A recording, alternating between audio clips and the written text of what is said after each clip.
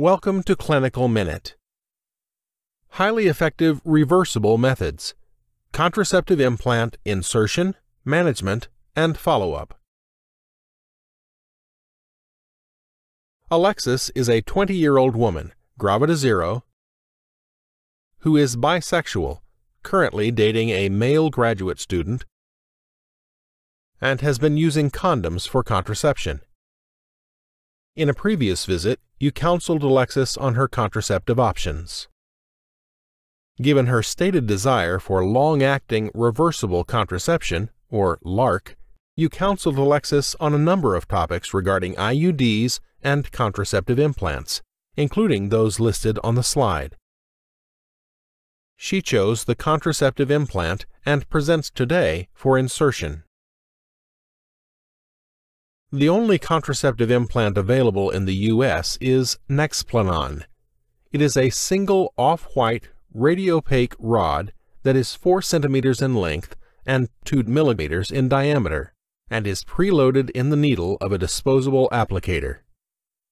The difference between Nexplanon and the previous generation of the implant, Implanon, is that the current implant has a new inserter and contains barium to allow localization with X-ray or CT scan. The implant is for subdermal use only and is placed in the upper arm. It contains 68 milligrams of the synthetic progestin etonogestrel, which continuously releases etonogestrel over the three years after insertion. Once inserted, the release rate is 60 to 70 micrograms per day in weeks 5 to 6, decreasing to approximately 35 to 45 micrograms per day at the end of the first year, 30 to 40 micrograms per day at the end of the second year, and 25 to 30 micrograms per day at the end of the third year. Specific training in implant insertion and removal is required by the manufacturer. Insertion is performed as an outpatient procedure. The implant should be placed subdermally, just below the skin, at the inner side of the non-dominant arm about 3 to 4 inches above the medial epicondyle of the humerus. The clinician must take care to avoid vessels and nerves in the subcutaneous layers. On average, insertion takes about half a minute. Implant removal takes about three and a half minutes. If the clinician has a reasonable assurance that the woman is not pregnant, lab tests and exams are not needed and the implant can be inserted at any time of the cycle. A backup contraceptive method should be used for four days.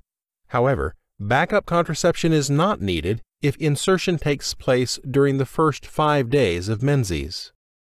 Satisfaction with the implant is highly dependent on acceptance of the method's limitations, especially with respect to bleeding irregularities.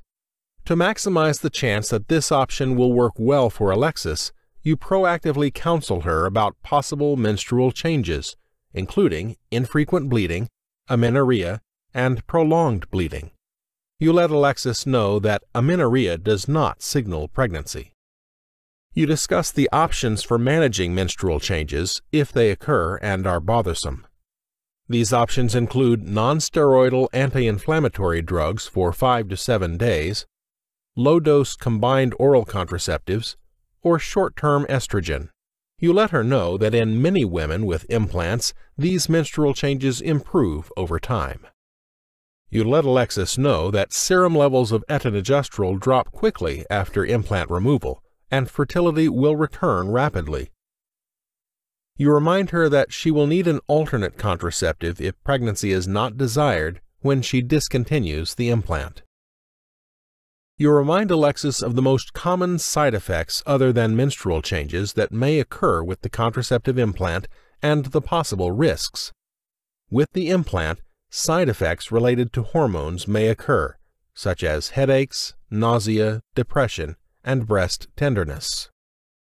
You let Alexis know that possible risks of use of the implant include problems related to the insertion or removal. These occur in less than 2% of women. You also let her know that in the rare case that a woman becomes pregnant with the implant in place, she is at slightly higher risk for an ectopic pregnancy. You remind Alexis to report any adverse effects to a healthcare provider and to tell all healthcare providers, especially prescribers, about the implant to help avoid drug interactions. You counsel her to report any instances of abdominal pain, which might be a sign of ectopic pregnancy or ovarian cysts. Alexis returns with a friend the next day. The insertion goes smoothly. You let Alexis know that she will be able to feel the implant under her skin. You remind her to plan on removal no later than three years from the insertion date. Finally, you remind Alexis that the implant does not protect against STIs and to use condoms with new sexual partners. About four weeks later, you receive a phone call from Alexis. She states that she is having prolonged bleeding. Her menstrual flow usually lasts for three days, but she has been bleeding for six so far. Upon questioning, you learn she feels well otherwise and that the flow is not heavier than normal. She has been changing the tampon about every three hours. You note that her LMP started approximately three weeks ago. What advice do you give Alexis? You recall the management options for menstrual changes associated with the implant. You recommend that she takes an NSAID with food three times a day for five days and call you back if the bleeding continues for more than 10 days total. You tell her to contact you or another care provider if she develops fever, abdominal pain, or a substantial increase in flow. You ask Alexis if she has any concerns or questions. She says no. You recommend that she schedule an annual well woman visit and contact you if she has any concerns in the interim. She agrees. Before saying goodbye, she adds, It is a huge relief not to worry about getting pregnant.